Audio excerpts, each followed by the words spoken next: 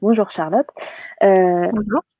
Charlotte est chercheuse euh, sur la question du, du handicap, du féminisme et du queer, qu'on appelle CRIP, et également psychologue et euh, militante. Euh, ce sera, ce sera l'occasion d'aborder avec elle la question du, du validisme et, et du Covid. La première question, c'est est-ce que tu peux rapidement nous décrire la situation des personnes handicapées en institution? Dans les institutions, euh, euh, les personnes handicapées ont été très très très isolées, pour pas dire coupées du monde, puisque euh, l'État s'est complètement euh, désengagé de la gestion des institutions euh, en laissant euh, les directeurs et directrices euh, des établissements gérer comme on leur voulait la crise du Covid.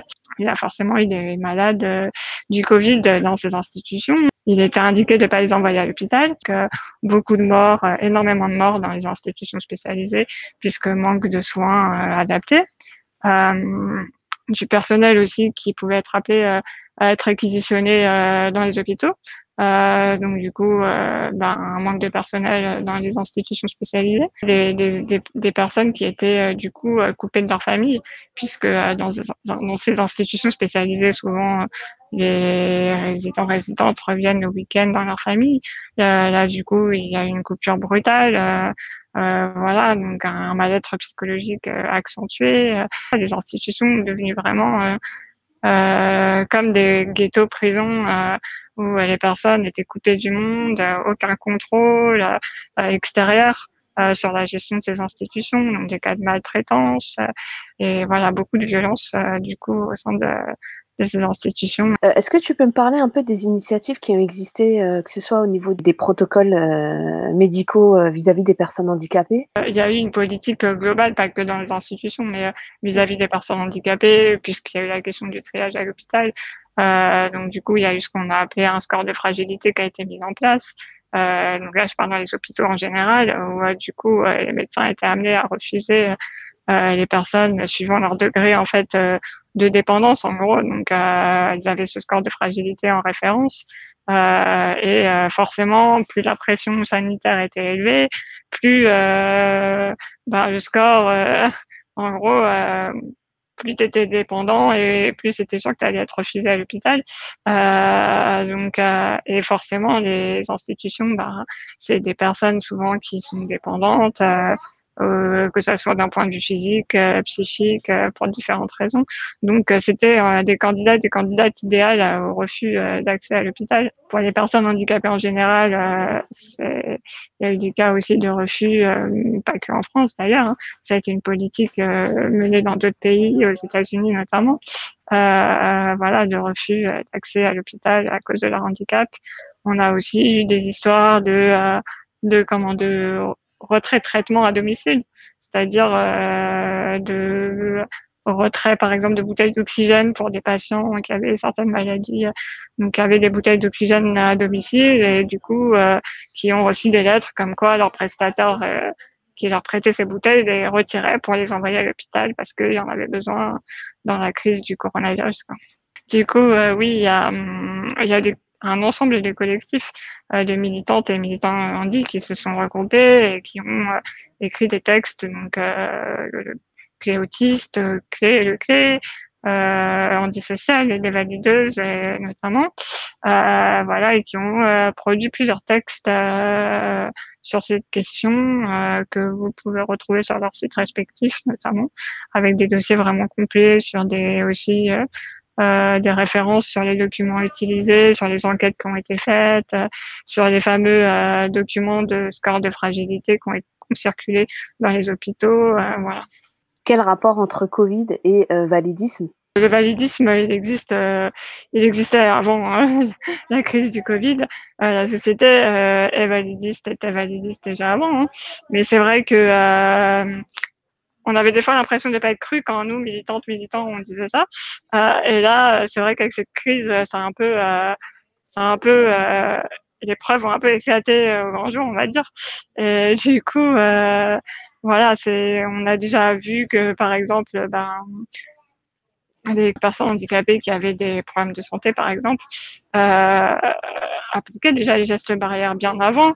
Et que du coup elles étaient souvent critiquées, moquées quand quand elles voulaient pas faire de la bise l'hiver, par exemple, euh, qu'elles portaient des masques, on les disait qu'elles n'étaient pas sociables, etc., etc. Donc euh, déjà, voilà, un certain validisme ambiant. Et là, euh, bah, avec la crise, euh, les gestes barrières qui sont exaltés, forcément, on se rend compte que voilà, ça peut être utile. C'était pas que parce que les personnes malades ne sont pas sociables. voilà. Après, il y a aussi bah, toute la question, par exemple, du télétravail et de l'organisation sociale en fait de la société, qui s'est construite vraiment sur une vision validiste. Par exemple, bah, on ne permettait pas aux personnes handicapées de télétravailler parce que euh, du coup on estimait euh, que c'était trop compliqué, trop dangereux de faire sortir certaines données euh, des entreprises parentales. Enfin, je sais pas, mais en tout cas comme ça touchait les personnes handicapées, c'était pas intéressant.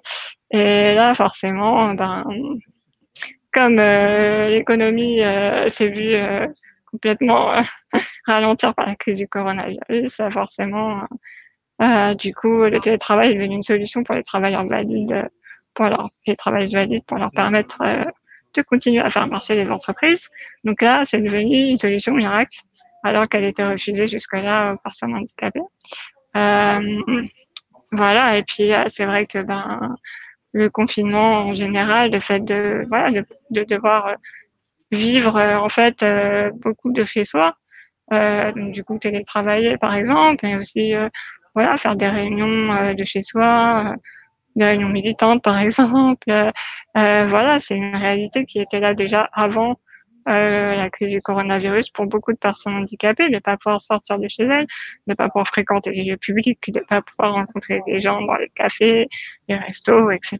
Donc, euh, donc en fait, quand c'est tombé sur euh, l'ensemble de la société, euh, que du coup tout le monde s'est un peu euh, révolté contre cette idée de devoir rester enfermé chez soi, c'est vrai que ben, pour beaucoup de personnes handicapées, c'était juste une réalité quotidienne et que du coup, il y a vraiment de quoi de mesure en fait entre euh, ce qui pourrait être acceptable pour des personnes handicapées et ce qui pourrait être acceptable pour les personnes valides. Donc euh, en fait, euh, je pense que c'est vraiment l'occasion de repenser justement l'accès à l'espace social, voilà, de repenser d'autres moyens aussi de de pouvoir être avec les gens et aussi de donner plus de possibilités de oui, l'accessibilité euh, des lieux publics. D'une certaine façon, euh, le Covid, il a révélé le fait que euh, cet espace public, à la base, il est hostile aux personnes dites non valides et que cette catégorie non valide s'est élargie avec le Covid. Mais du coup, qu'est-ce qui peut permettre, déjà d'une part, à travers les luttes, de, de faire déjà quel moyen de lutter contre ça, contre, contre cette situation et de faire en sorte qu'il y ait une appropriation de l'espace public pensé pour tout le monde. C'est quand même important de ne pas entre guillemets jeter à la poubelle l'expérience qu'on a vécue pendant deux mois euh, sur euh, repenser euh, comment on pouvait justement être avec les autres, euh, repenser l'espace public ailleurs que dans la rue justement.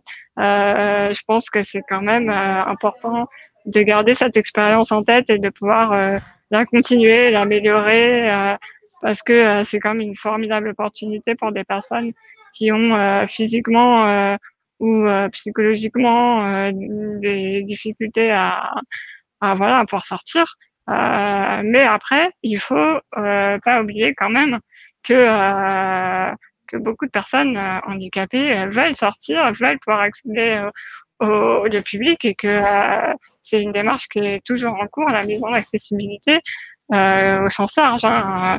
Ça peut être voilà, la mise en place de rampes d'ascenseur, etc. Mais ça peut être aussi des interprètes en LSF, ça peut être une communication facilitée pour des personnes qui ont des handicaps euh, psychiques. Euh, voilà, c'est quand on parle d'accessibilité, c'est vraiment au sens euh, large du terme et que et que faut pas non plus se replier, voilà, dire oh, ben on va développer tout ce qui est internet, etc. Et, et laisser de côté le chantier de la mise en accessibilité de la société. Quoi. C'est vraiment deux, je pense, deux points à traiter en parallèle, enfin qui sont tous les deux importants.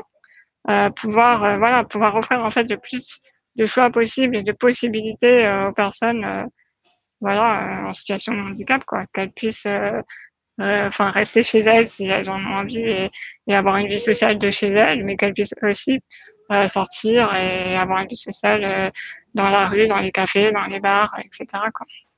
Toi qui as, a aussi travaillé sur, euh, euh, l'histoire en fait du militantisme handicap, est-ce que tu peux nous parler un peu de la, manière dont euh, le militantisme handicapé s'est transformé avec, disons, à l'aide des, nouveaux modes en fait d'accès à beaucoup plus de visibilité du militantisme? La question de voilà de l'auto-organisation euh, quand on a déjà à la base une société qui nous empêche euh, de nous réunir, de, de sortir de chez soi. De...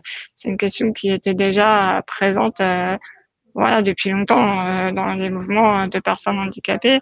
donc après, même avant la, la, crise du coronavirus, voilà, il y avait déjà un développement sur Internet, notamment voilà, des blogs des euh, réseaux sociaux, page Facebook, Twitter, de personnes handicapées qui euh, profitaient de ces, ces biais-là pour, euh, pour pouvoir diffuser leurs idées politiques, etc.